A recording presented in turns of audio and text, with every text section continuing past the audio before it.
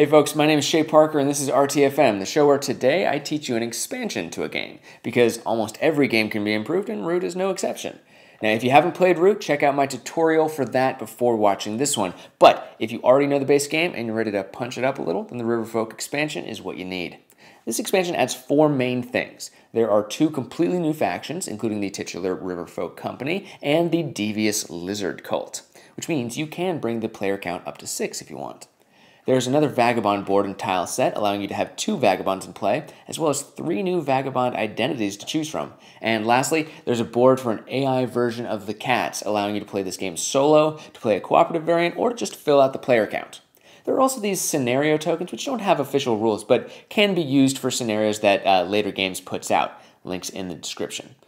And we're going to go through each edition in turn. So let's start off simple with a new Vagabond board. Of course, if you want to skip ahead, there are links in the description below, as well as an errata list in case I get anything wrong and need to update it later. Hopefully that won't happen. But remember, there's been a balance update that I'll be using that's changed the lizards quite a bit. It's also why you'll be seeing some paper printouts. But anyway, to the rules!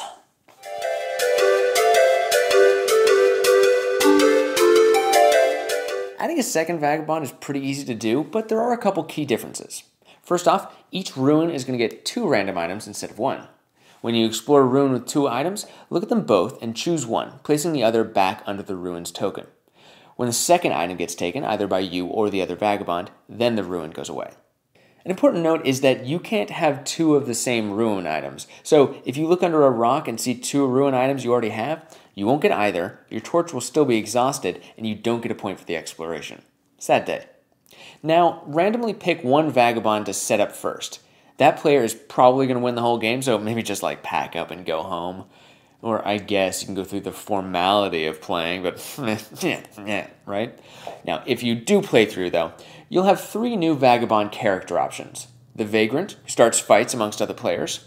The Arbiter, either a paladin or a hero for hire, depending on how you look at it. And the Scoundrel, a psychopath. Neither player has to choose any of these new identities. You can pick the old ones if you want. These are just new options. And that's all for the Vagabond. Next up is the Mechanical Marquise.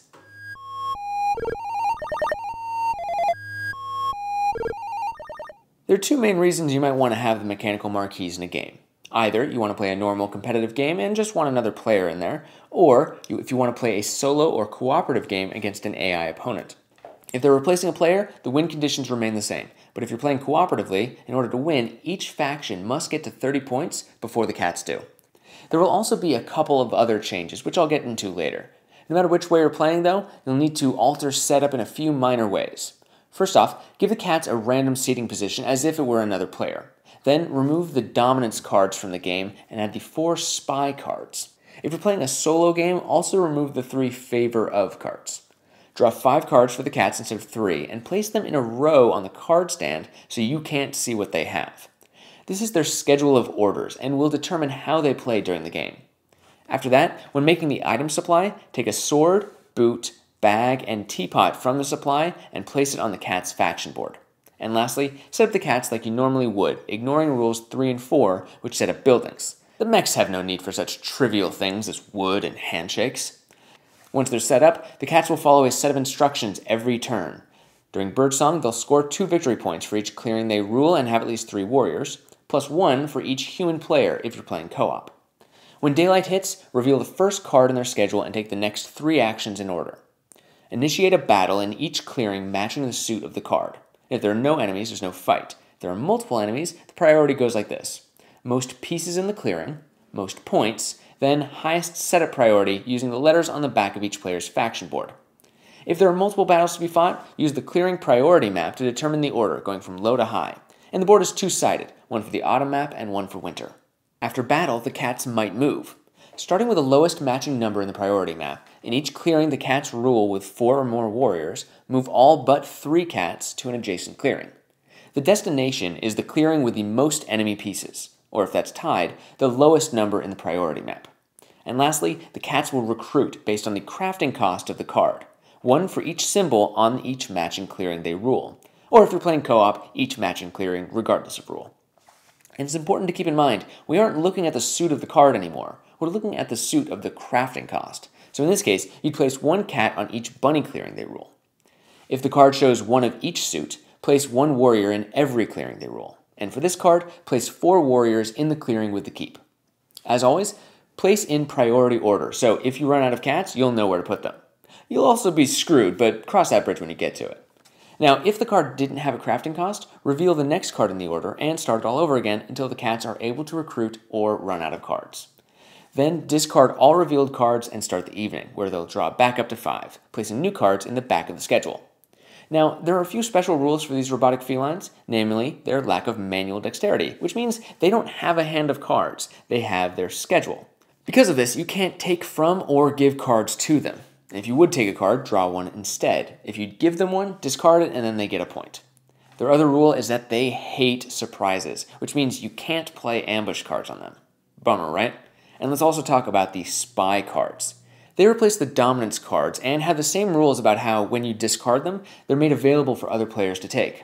If you do play a spy, during daylight, you can reveal one of the cat's cards. If it matches the suit of the spy card, discard the spy, making it available. If it doesn't match, you may swap any two orders in the schedule. And that's mostly how you play with the cats. There's also rules for a co-op campaign mode on the back of the manual, but it's pretty bare bones and the cats are tough enough as it is, so take it or leave it.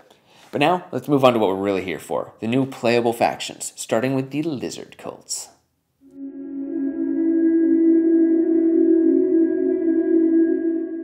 Are they dangerous, or are they just misunderstood? Well, they're definitely weird, so let's talk about how. Your setup letter is F, so you're pretty far back, but that's fine. Start by finding the corner clearing opposite the cat's keep or the bird's starting roost. If both are in play, just pick another corner clearing. Place four warriors and a garden there. Then place one warrior in each adjacent clearing. Once you're done with that, place the remaining gardens on your board and choose an outcast. This is an important decision, but don't worry about it just yet. Let's just say we chose foxes and move on. We're actually going to move on past Birdsong too. Uh, we'll get back to them in a minute. So, in Daylight, all of your actions are fueled by cards. You can reveal a mouse, fox, or rabbit card to build a garden in a matching clearing that you rule, or place a warrior in any matching clearing. And you can reveal a bird card to place one of your warriors from the map or your supply in the Acolytes box. More on all of that later. But notice I said reveal and not spend or discard. These basic rituals that you perform just require you to reveal the card. You can reveal as many cards as you have in your hand and take that many actions. The only ritual that requires you to discard a card is also the main way you score points. Your goal is to place a lot of your gardens on the board. Once you have more than one garden of the same suit out, you can discard a matching card and score points. So, if you have two bunny gardens out, then you'll get two points for each bunny you discard. Now, the reason that the lizards are weird about revealing and discarding cards is that there's a big rule change when you're playing with the lizard cult, which is that every time a card is discarded or spent, instead of going to the discard pile, they go to your board and become lost souls. During Birdsong, you'll check to see what the most common suit is in the Lost Souls, ignoring birds, and that will become the new outcast. If there's a tie, or if the most common suit matches the current outcast, flip the marker to the hated outcast side. Then, whatever happens, discard all lost souls into the regular discard pile. Now, this outcast and those acolytes we made earlier are going to fuel your most powerful actions, your conspiracies. At the end of Birdsong, you can spend acolytes to perform conspiracies in outcast clearings. And if you have a hated outcast, all your conspiracies will be one acolyte cheaper. For two acolytes, you can crusade, battling in any outcast clearing, or moving units from an outcast clearing and battling in the space they move to. That's cool, I guess, but also for two acolytes, you can convert, removing an enemy warrior in an outcast clearing and putting one of your own warriors in its place. Very sneaky. And for a whopping three acolytes, you can sanctify, removing an enemy building from an outcast clearing and placing a garden where the building was. They're all strong abilities, but remember, they're tied to the outcast, and your opponents may try to discard cards to manipulate what the outcast is, so don't sleep on that. Jumping ahead to evening, you return your revealed cards to your hand. You can craft cards using only gardens matching the outcast suit, and then you draw one card plus one for each card symbol showing and discard down to five. Now, if you're thinking Lizard Cult is going to be hard to play, well, yeah, kinda, but they have some special rules which help them out a lot. Starting with Revenge, which states that whenever you're defending, all of your defeated warriors become acolytes. Even in death, they serve the cult. Next is their hatred of birds, which means that for rituals, bird cards are not wild for you. I guess that one's not um, helpful, but this uh, next one is. See, because you are on a divine pilgrimage, so you rule any clearing where you have at least one garden, regardless of whatever that clearing looks like. Unfortunately, if a garden gets removed, you'll have to discard one random card from your hand. And that's the lizard cult. Spread like wildfire, assimilate your enemies, and build a war machine out of the corpses of your brethren. And like, frolic in a garden. Last up, the river folk.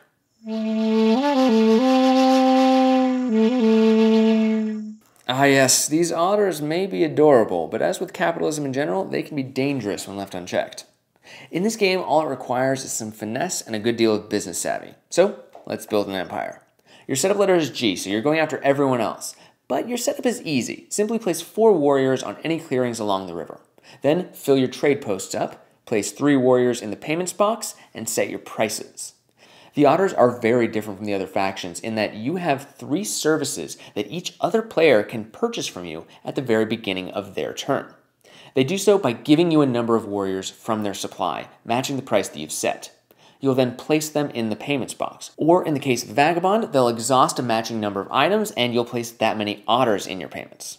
Each player can purchase one service per turn, plus one more for each clearing on the board with a trade post and any of their pieces. So in this case, the cats could purchase three services. So what are these services? Well, let's start with cards. Unlike other factions, your hand of cards is public. Use the stand to display your cards to everyone else. This is because other players can buy your cards off of you. Each card purchase counting as one service. Very useful. But remember, there's nothing stopping them from then using those cards against you, and due to rampant corruption in your company, you can't stop anyone from buying things. So be careful. Next up, we have riverboats. If a player buys these, for the rest of their turn, their warriors can travel along the river as if it were a normal path. And lastly, they can hire your warriors as mercenaries, meaning that they can use your units in battle and they count towards ruling a clearing. But they won't be able to move your otters anywhere, so make sure other players know that. Now, let's say the mice have hired your mercenaries and use them to fight in this clearing. When taking hits, the buyer must split the damage between their units and yours, starting with them. So if they took 3 damage, they'd lose 2 mice and you'd lose 1 otter. Okay, now that we know what you have for sale, let's talk about what you can do with all that cash you're going to earn. At the start of Birdsong, if you have nothing in your payments box, place 2 warriors there. Then score dividends, meaning for every 2 warriors in your funds box, score 1 point. The catch is you also have to have at least one trade post on the board. If you don't, you score nothing. On the first turn, you won't have either of these things, but eventually you can build up quite a portfolio. After that, we gather funds. Move all warriors on your board to the funds box. These funds are going to fuel your actions during daylight, so let's keep going. During daylight, you can commit a fund to do some basic things like move, battle, or draw a card. When you commit a fund, place it in the commitments box. You can also commit funds to craft cards, placing warriors on empty trade post spaces to show that you've used them. And if you don't actually want the card you craft, you can choose to discard it to place a warrior in payments. All of these committed warriors will go back to your funds when you gather them next turn. Some actions require you to spend funds, though, which means you have to give the warriors back to their owners. You can spend one fund to recruit a warrior in any clearing with a river, and you can spend two funds to build a trade post. The funds you spend have to belong to the owner of that clearing, and the clearing can't already have a trade post in it. You also place a warrior in that space and score two points. These trade posts are valuable for everyone, but if people sour on you, they might try to destroy them, so try not to leave them undefended. If a trade post does get destroyed, it's bad news for you. The post is removed from the game and you lose half of your funds. The only upside to this is that even though the trade post is gone forever, the fact that you have empty spaces on your player board means you can still use them for crafting. Then during evening, discard down to 5 cards and set your service costs to whatever you want. Feel free to negotiate with your fellow players on this. Now notice I didn't say you draw cards. Unlike other factions, the Riverfolk don't have an automatic draw. They only draw cards by committing funds, so keep that in your calculations. And lastly, I've already talked about your public hand, so the only special rule to mention is that otters can swim, so you can always treat rivers as if they were normal paths. And that's the Riverfolk Company. Extort your friends, use their warriors as indentured servants, dive into your piles of money like Scrooge McDuck. And that's also the end of the Riverfolk expansion.